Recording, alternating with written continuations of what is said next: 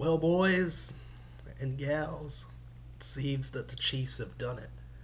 For the first time in 50 years, they're going back to the Super Bowl.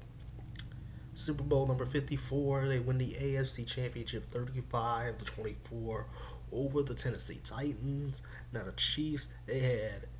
They didn't have this game at first, but once you know everything got you know got contained, they contained Derrick Henry and everything like that. It was just a um, second half was mostly kind of boring. Um, not gonna lie to you, like once that first half was just you know it was all good and stuff. Then the second half came, third quarter, nothing happened at all.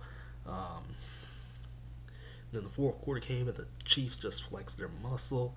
You know, um, Sammy Watkins caught big, big time 60 yard touchdown pass from Patrick Mahomes down the field um, late in the fourth quarter, and it was a wrap. Yeah, sure, the Titans had some big plays in the game early on. You know, Derrick Henry getting a big touchdown, but he was mostly contained. He only had like what 69 yards the entire game on like 16 carries or something like that. Um, and they had to force Tannehill to throw the ball, and Tannehill just didn't have enough in the tank. Throw the ball away. So we got one team already in the Super Bowl. The NFL's 100th champion is so much closer to being revealed.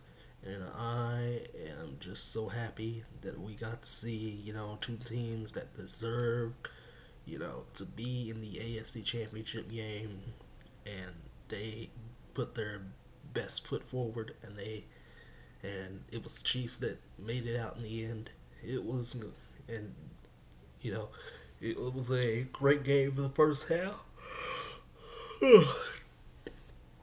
great game in the first half. Chiefs then flexed their muscle in the second half. So, uh, with that, we're gonna sit around and wait around um, another 30 minutes or so. Got another 30 minutes until the NFC Championship game at, at the time of this recording. So, that being said, everybody, I'm gonna catch you guys in about three and a half hours for the recap of the NFC Championship game because man, Chiefs defense, you guys the real MVPs. You did you did what you needed to do. Y'all take care.